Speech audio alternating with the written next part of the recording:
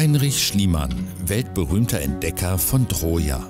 Am 6. Januar wäre er 200 Jahre alt geworden. Geboren wurde er in einem Pfarrhaus in Neubuko. An diesem Nachfolgebau erinnert heute eine Gedenktafel an ihn.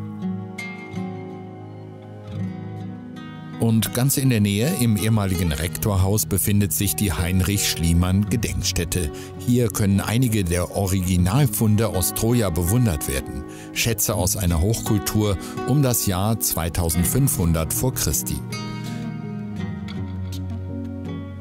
Für Museumsleiterin Katja Winger ist es traurig, dass all dies pandemiebedingt derzeit nicht von der Öffentlichkeit bewundert werden kann.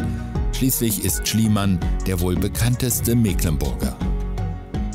Natürlich das Verdienst, dass er Troja gefunden hat, also die ganzen Geschichten über den Trojanischen Krieg äh, hat er natürlich gekannt und ist mit diesem Wissen losgegangen und hat dann ausgegraben und lokalisiert, wo dieser Ort gewesen sein kann. Ansonsten war er ja auch in Griechenland sehr aktiv, unter anderem, also auch in anderen Mittelmeerländern. Und in Griechenland hat er äh, gilt er als der Vater der mykenischen Archäologie, denn dort hat er praktisch ein Jahrtausend griechischer Geschichte ans Licht gebracht, von dem vorher nichts bekannt war. Also auch unter anderem die goldene Maske des Agamemnon, von der wir hier auch eine Kopie haben.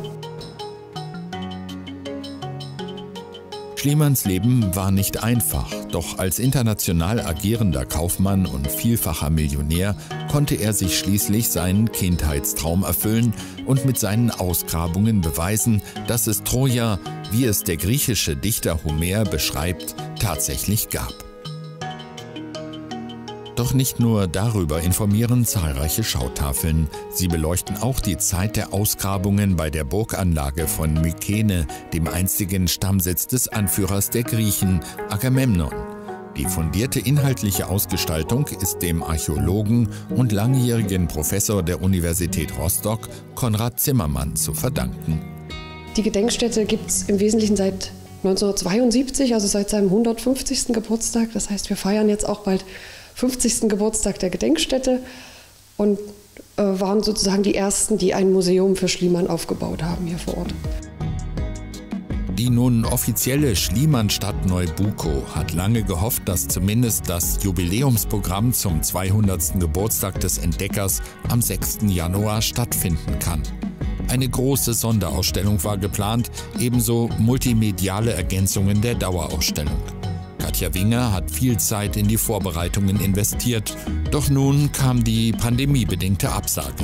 Trotzdem soll am 6. Januar in kleinem Rahmen der besonderen Leistungen Schliemanns gedacht werden. Wann die Gedenkstätte wieder für Besucher öffnen kann, steht leider noch nicht fest.